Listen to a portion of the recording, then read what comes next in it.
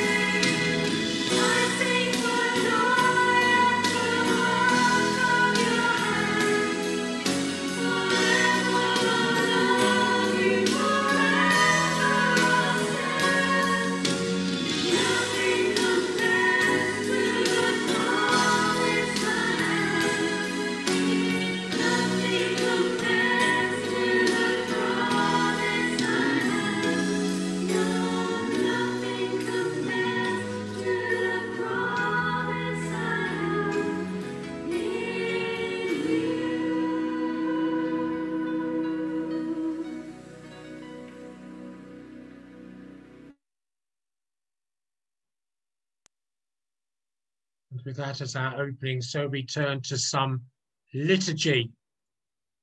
However, we are able to meet this morning, we acknowledge that we meet in the name of God. God the Father, God the Son, God the Spirit, God is one. And so we are able to pray together. Almighty God, to whom all hearts are open, all desires known, and from whom no secrets are hidden.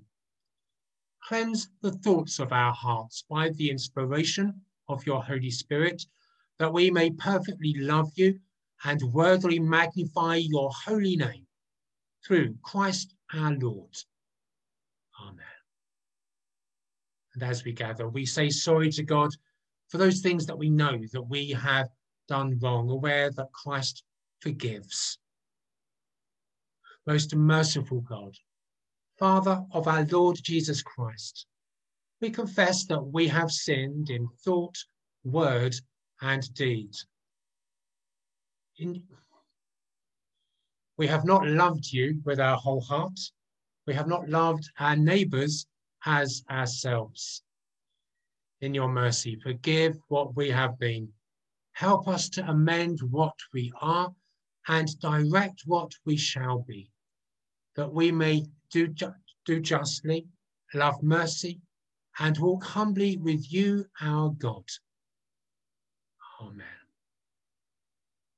Almighty God, who forgives all who truly repent, have mercy upon you pardon and deliver you from all your sins, confirm and strengthen you in all goodness, and keep you in life eternal through Jesus Christ our Lord. Amen.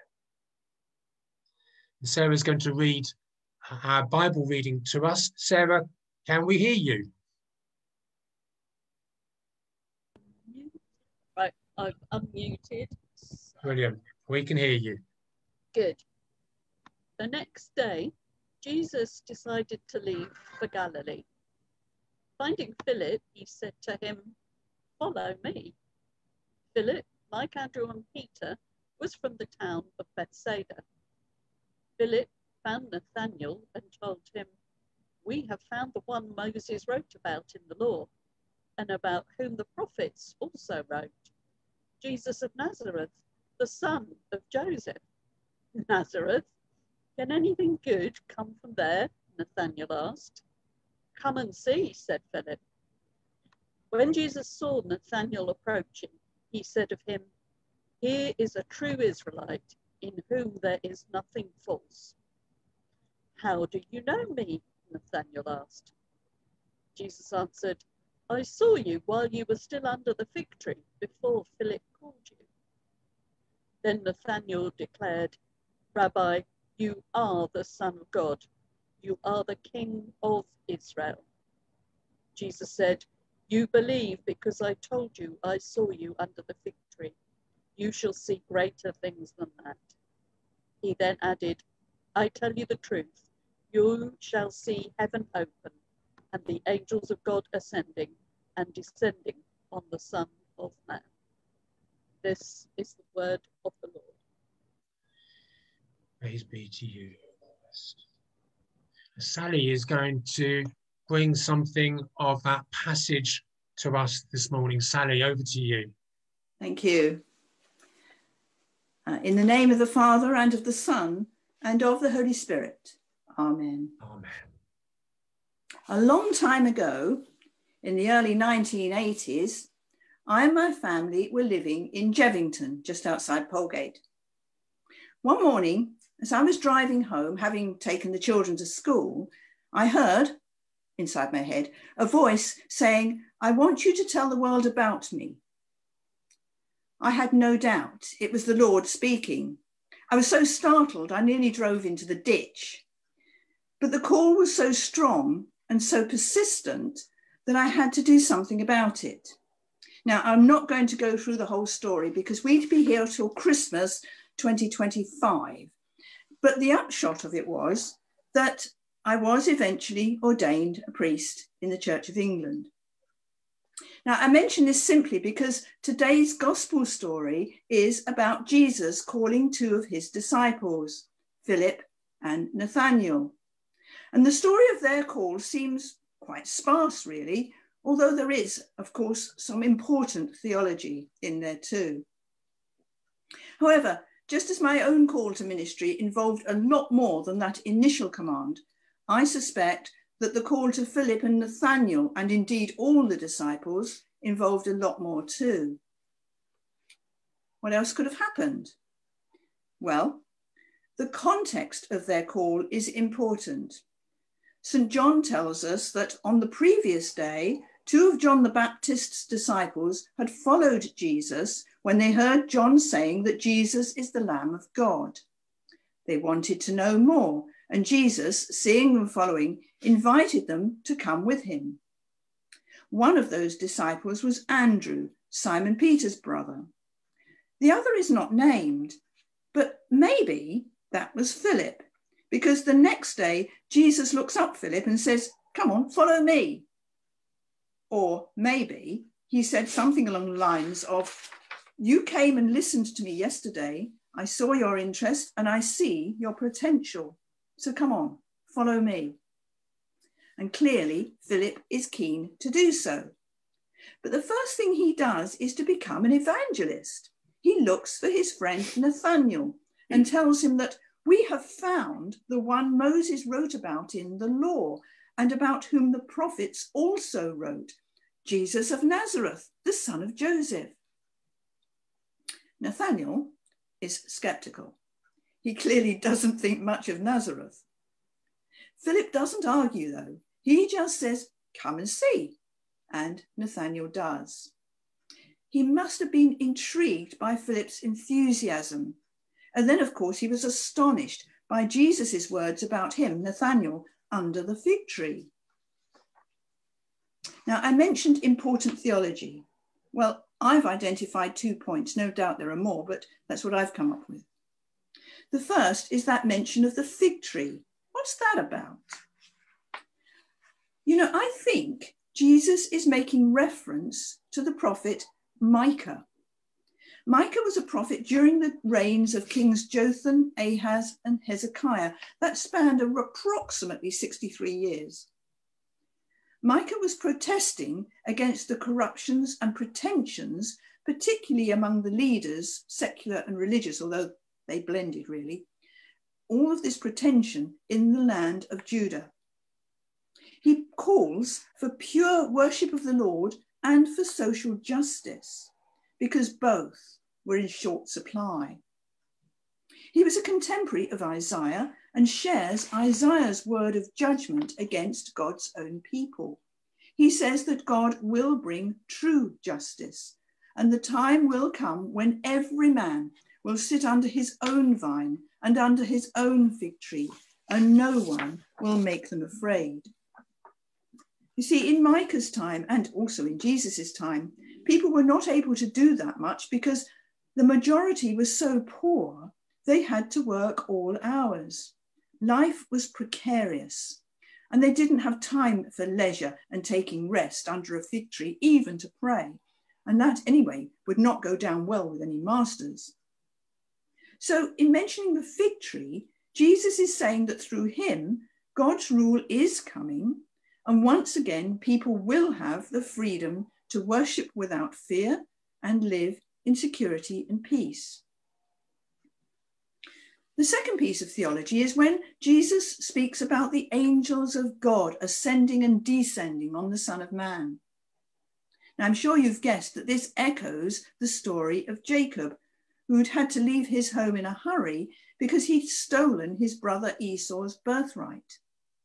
Alone, and probably afraid, cold, and hungry, he fell asleep and dreamed of a ladder reaching from heaven to where he lay, and God's angels were going up and down it. Then the Lord came and stood beside him and promised him that he would eventually return to his homeland in peace and prosperity. When Jacob woke up, he realized that although he had felt utterly alone, in fact, God was with him. He named that place Bethel, which means God's house. and many generations later, his descendants made Bethel one of the places of early Israelite worship. They believed that God's house was where God is really present. And we sort of echo that today by having dedicated places of worship, although we do so because Jesus told us that by having dedi- told us that where two or three are gathered together, there I am in the midst of them. But anyway, going back to Nathaniel, when Jesus says, You shall see heaven opened and the angels of God ascending and descending on the Son of Man, what is he? He is intending Nathaniel, Philip, and the others around him and us to understand are two things. First, God is always with us, regardless of our circumstances, and he knows us, even though we don't realize this and can't see him. And he calls us to his service not because we deserve it, but because he loves us and sees the potential in us. And second, Jesus is saying, and here I'm going to quote from a theologian named Tom Wright. He says, Jesus is saying, don't think all you will see is one or two remarkable acts of insight, such as I showed you that I knew you before you even appeared. What you'll see from now on is the reality towards which Jacob's ladder and even the Jerusalem temple are pointing to. If you follow me, you'll be watching what it looks like when heaven and earth are open to each other. So, in other words, the disciples and all Jesus' faithful followers will see and experience wonderful things. So, it seems to me in this story of the call of Philip and Nathaniel, we learn first that God's kingdom is where peace, justice, mercy, and compassion reign. This is a theme that we see throughout the Bible in both the Old and the New Testaments. Throughout the Old Testament, all the prophets demand that God's people must live in accordance with his law, which means that they are to practice justice, mercy, generosity, and compassion. They must not seek self serving power, but must care for one another and ensure that fairness and kindness prevails. If they do this, they will live in peace. The other nations will have respect for them and not harm them. There will be no war or fear of war, and the earth will be fruitful. All this will be reality if people live in accordance with God's laws. In the New Testament, in the Gospels, Jesus is constantly rebuking those who put their version of the law above the need for compassion, justice, and mercy. He is clearly appalled by the hypocrisy that demands, for example, that people must worship regularly and make offerings of tithes, but ignores the rampant poverty and injustice that prevents them from doing so. In their letters to the new Christian congregation, St. Paul, Peter, and James also urge the believers to provide for those who are in need with generosity and to follow Jesus' example of loving care for one another. And second, God is always with us. He knows exactly who and what we are, including all our faults and failings, our hopes and fears and our regrets. Yet, nevertheless, he sees our potential and calls us into his service. That service can take many forms and may lead us in unexpected directions. Of course, there will be times of doubt and uncertainty, but he gives us the strength, courage, and faith to trust and follow him. So, we are to be evangelists. Like Philip, we are to share the good news as often and as best we can. In the face of Nathaniel's skepticism, Philip doesn't argue, but simply says, Come and see. It was his actions, his enthusiasm that got Nathan to get up and see. Philip, Nathaniel, and all the disciples chose to respond to Jesus' call to follow me. The way wasn't easy, and no doubt they had their fair share of doubts setbacks, and challenges along the way, but they answered the call and stayed faithful. My own call was totally unexpected. I did not feel I had in any way earned it. But by following it up, I discovered that God knew me, what I was at that time, and knew what I could become.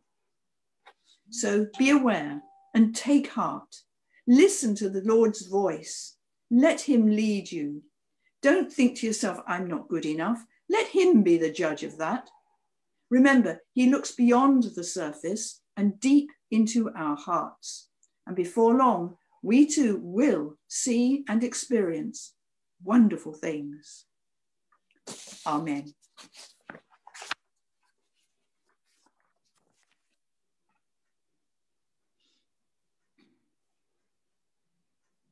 Thank you, Sally. Thank you for that and the, that promise of um, God helping us to find our potential in Him. That's a wonderful thought, especially at this time. We turn to our liturgy to proclaim together what we believe.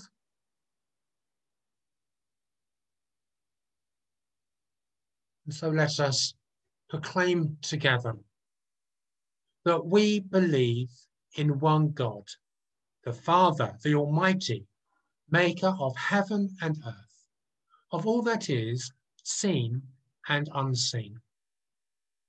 We believe in one Lord, Jesus Christ, the only Son of God, eternally begotten of the Father, God from God, light from light, true God from true God, begotten, not made of one being with the Father. Through him all things were made. For us and for our salvation, he came down from heaven, was incarnate from the Holy Spirit and the Virgin Mary, and was made man. For our sake, he was crucified under Pontius Pilate. He suffered death and was buried. On the third day, he rose again in accordance with the scriptures he ascended into heaven and is seated at the right hand of the Father. He will come again in glory to judge the living and the dead, and his kingdom will have no end.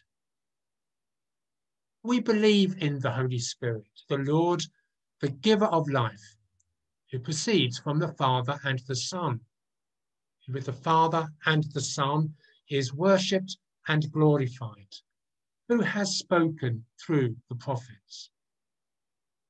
We believe in one holy, Catholic, and apostolic church. We acknowledge one baptism for the forgiveness of sins. We look for the resurrection of the dead and the life of the world to come. Amen. So let us turn to a time of intercessory prayer. In the power of the Spirit and in union with Christ, let us pray to the Father. Almighty God, our Heavenly Father, you promised through your Son, Jesus Christ, to hear us when we pray in faith. Heavenly Father, thank you that you invite us into a friendship with you, that you want us to meet our full potential in you, and you invite us to share that friendship with others too. For a moment, we remember the names of those we would love to come to know of that friendship with Jesus they can have for themselves.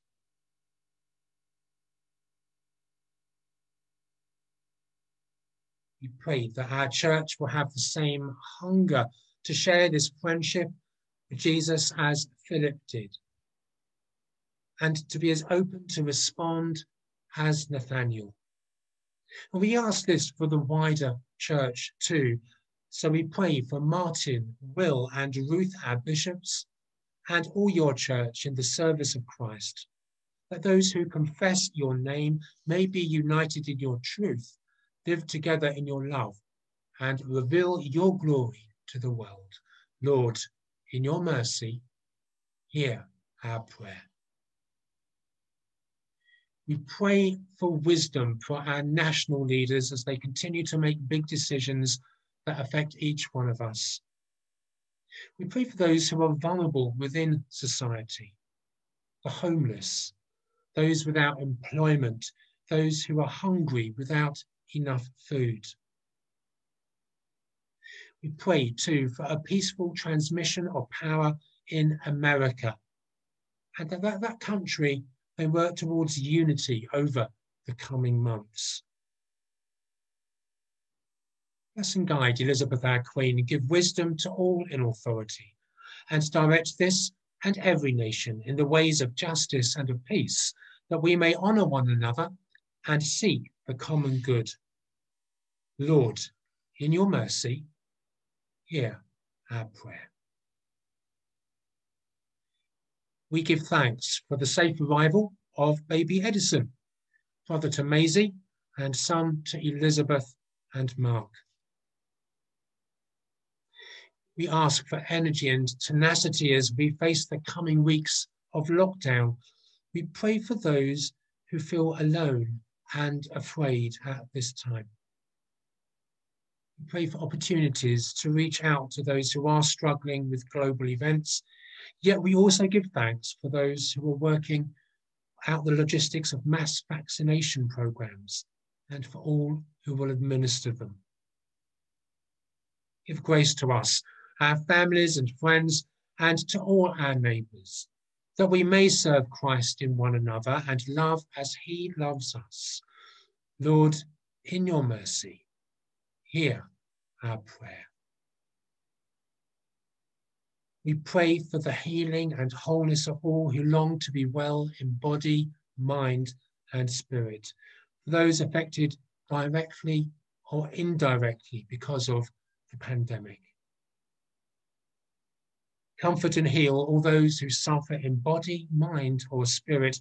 Again, in a moment of silence, remember those who we know before God who loves us.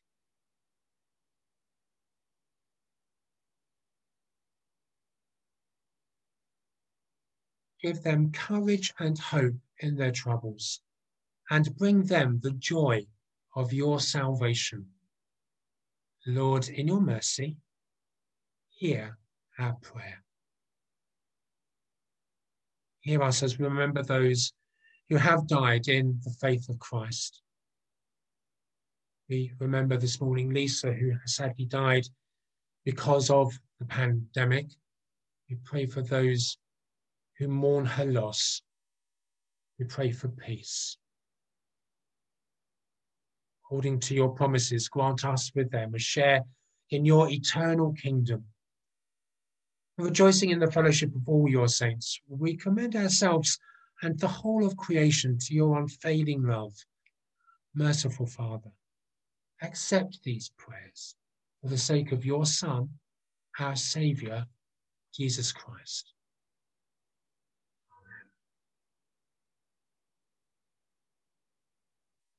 So let us share with one another a sign of Christ's peace. Let me first introduce that with a, a verse from the Bible before we open up the Zoom channel to share a sign of peace with one another.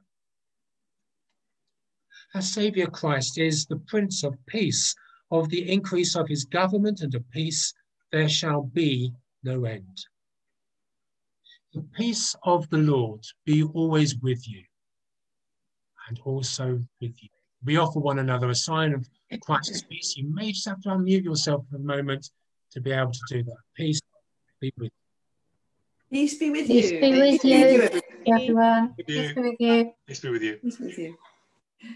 Peace be with you. Peace to anyone looking on via Mm. Facebook page, via live stream. Peace very much be with you this morning. So we come to share bread and wine together, albeit in a very distant form. We are able to acknowledge again that the Lord is here. His Spirit is with us. Lift up your hearts. We lift them to the Lord. Let us give thanks to the Lord our God. It is right to give thanks and praise. It is right to praise you, Father, Lord of all creation. In your love, you made us for yourself. When we turned away, you did not reject us, but came to meet us in your Son. You embraced us as your children and welcomed us to sit and eat with you.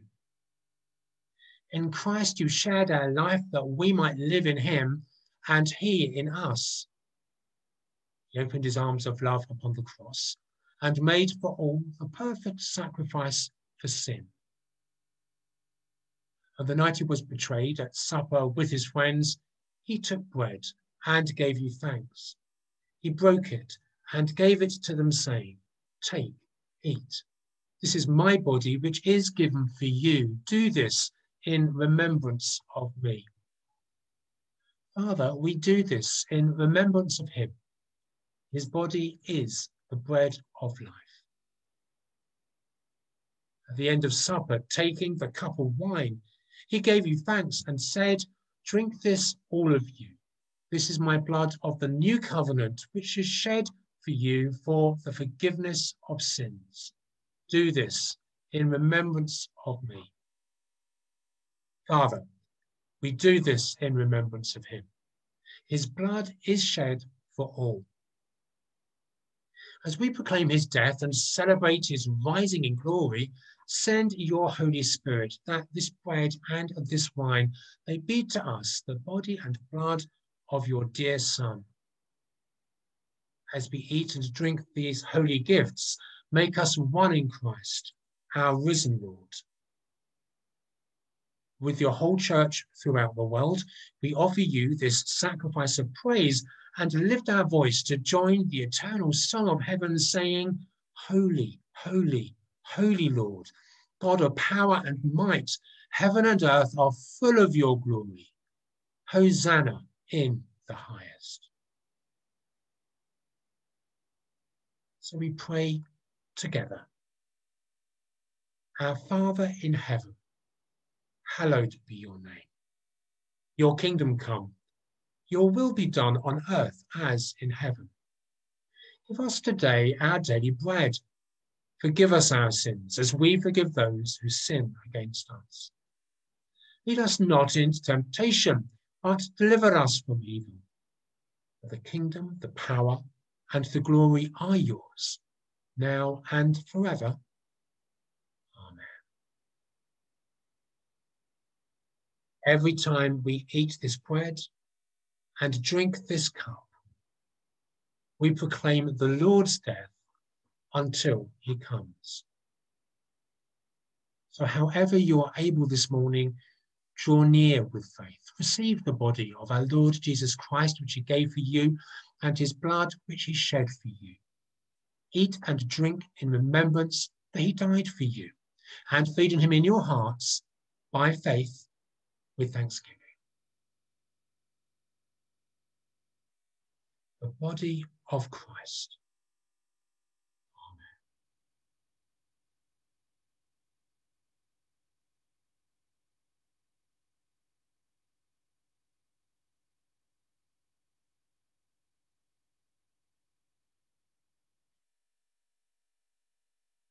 the blood of Christ. Amen.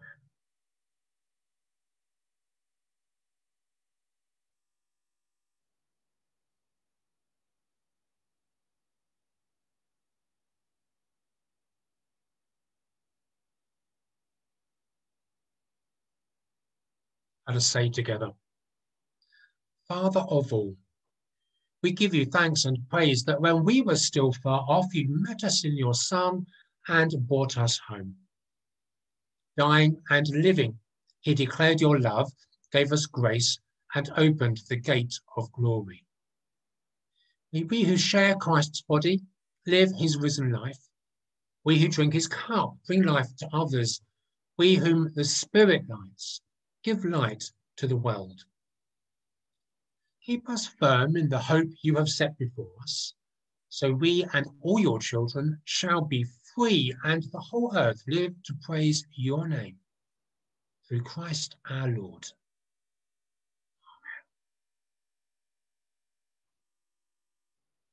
I'm going to turn to song again, and we are going to sing the song, Will You Come and Follow Me? Just need to get this ready. Okay, let us see.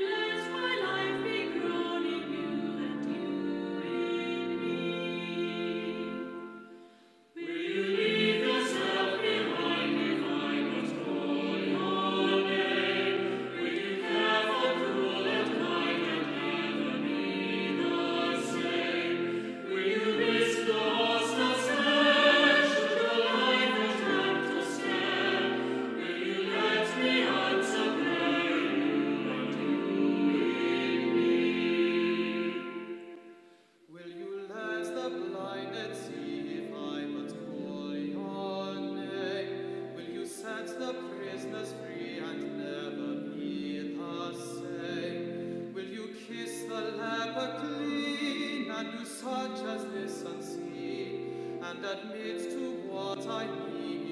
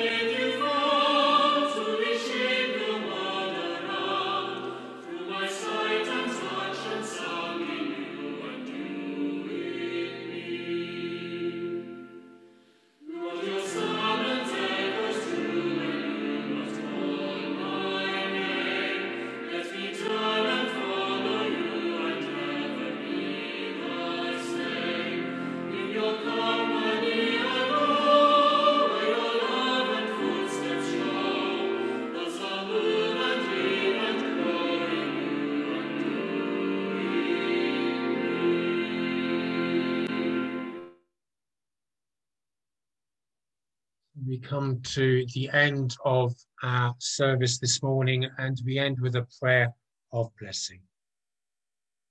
Christ, the Son of God, perfect in you the image of his glory and gladden your hearts with the good news of his kingdom.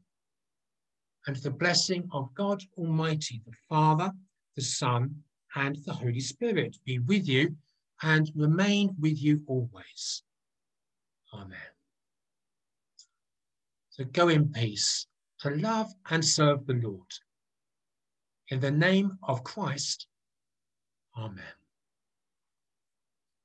That does bring our service of communion this morning to a close. We do need to say farewell to those looking on on live stream as we end and those who may be looking on on YouTube. Uh, a gentle reminder that our midweek communion will be at 10 o'clock on Wednesday. And again, of course, we, we gather as we are able to in this way next Sunday morning at 10.30. But we say farewell to those who may be looking on from a distance. We'll keep the Zoom channels open so we can uh, keep on talking. But farewell to anyone looking on at this moment.